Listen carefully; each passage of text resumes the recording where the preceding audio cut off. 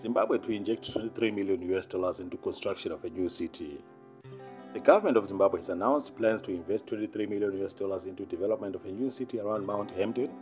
Acting Director of Spatial Planning and Development in the Ministry of Local Government and Public Works, Mr. Honest Magaya, made the revelations and said preliminary work that includes drawing the master plan have already begun. Hey guys, welcome to my channel, The Ultimate Survivor Africa. This is the channel that talks about things that happen in Africa. We talk about nature and conservation, tourism and tourist destinations. We talk about uh, current affairs. We talk about celebrities of Africa and anything that takes place in Africa.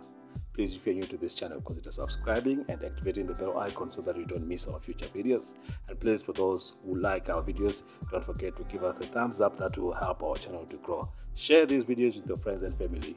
Enjoy the video. According to Mr. Magaya, the Ministry of National Housing and Social Amenities and Local Government and Public Works are the lead agents through which the preliminary work will be undertaken. According to the 2020 Zimbabwe Infrastructure Investment Program, 13 million US dollars has been reserved for developing a master plan, while 10 million US dollars will be used for feasibility and studies and other primary works.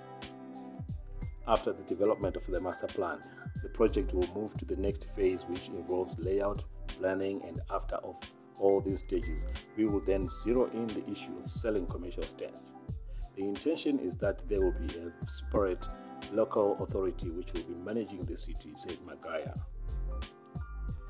The concept plan of the development will see the city sit over 18,000 hectares of land between Mashonaland West and Mashonaland Central provinces. The plan was drawn up with the help of experts from the University of Zimbabwe.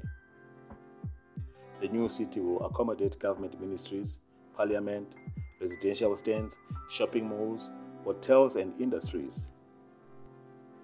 The new parliament building currently under construction in Mount Hampden is the nucleus around which the city will be developed.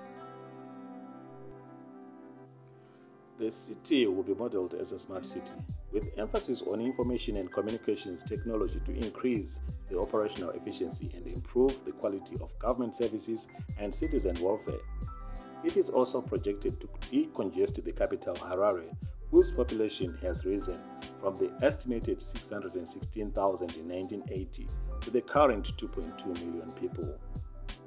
I hope you enjoyed guys. If you did, please give us the thumbs up, the like. For those who haven't subscribed yet, please give us a subscription and activate the bell icon so that you don't miss our future videos. This is the Ultimate Survivor signing out.